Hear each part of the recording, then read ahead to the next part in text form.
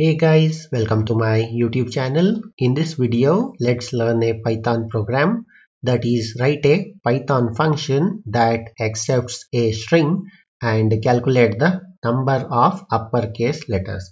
So given a function and uh, it has to accept a string as an input argument and uh, it has to calculate the number of that is a count of that is count of uppercase letters present in a string so let's try to solve this.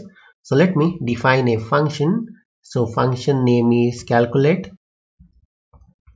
So this is the function name and uh, you have to pass a string as an input argument. So let's take data.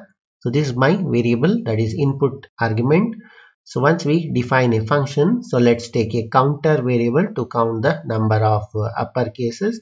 So let's say upper underscore count is my variable that is an integer variable. So this will be used for counting the that is number of uppercase letters. So once we are done with the initialization so let's iterate all the letters present in a string. So for that i'll be using for loop for letter in data. So i'll be iterating all the letters present in the data and checking if the letter is between A to Z. So for that I'll be using if statement I'm taking A that is a capital letter and less than or equals to the letter and less than or equals to the Z. So this is a capital letter Z. Yeah, so if the letter is between A to Z that is in the uppercase, so then what you have to do is increment the counter that is upper count equals to upper count plus 1 so also you can use upper count plus equals to 1 yes so once the for loop completes so the number of uh, uppercase letters count will be stored in this variable. So let's return the upper count. Use the return statement and uh, here I'll be returning the variable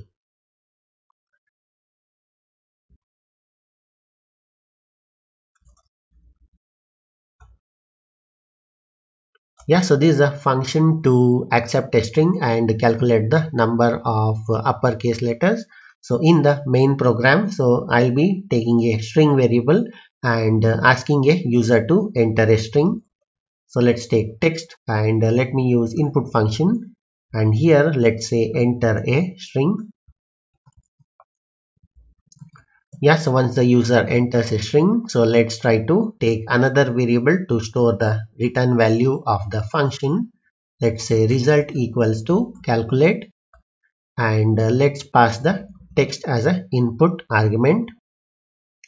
So once the function executes it will be the result will be storing the uh, number of uppercase uh, letters that is a count. So let's try to print it finally that is uh, the number of uppercase letters. Let me copy and uh, paste it over here. In string is let's give colon and uh, here let's print the result. Yes so this is a complete python program or the that is python function using python function to accept a string and calculate the number of uppercase letters. So let me execute this and let me show you how it works so interesting. So let me copy paste the same. So the number of uppercase letters in a string is 2 you can see e is capital and s is capital. Let me minimize. So let me copy the problem headline. So let me run it again.